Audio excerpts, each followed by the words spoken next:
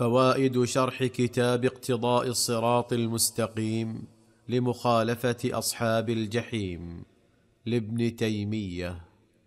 قال رحمه الله وقالوا أيضا يكره السجود في الطاق لأنه يشبه صنيع أهل الكتاب من حيث تخصيص الإمام بالمكان بخلاف ما إذا كان سجوده في الطاق يعني كأن يكون رأسه فقط.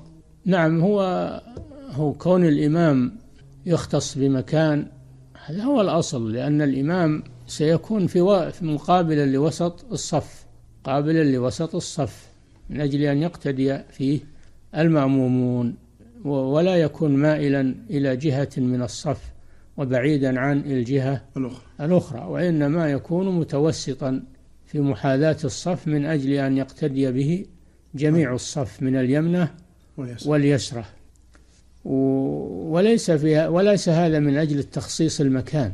وإنما هو من أجل الاقتداء. إنما هو من أجل الاقتداء بالإمام لقوله صلى الله عليه وسلم إنما جعل الإمام ليؤتم به.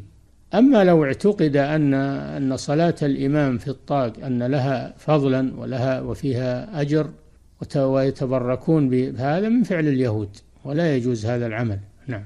قال وهذا أيضا ظاهر مذهب أحمد وغيره وفيه آثار صحيحة عن الصحابة بن مسعود نعم في مذهب أحمد فمثلا في متن الزاد وتكره إمامته في الطاق يعني في المحراب تكره إمامة المح... الإمام دخوله في في المحراب لأنه يختفي عن المأمومين عن, عن يمينه وعن يساره ولأن فيه تشبها بأهل الكتاب. نعم.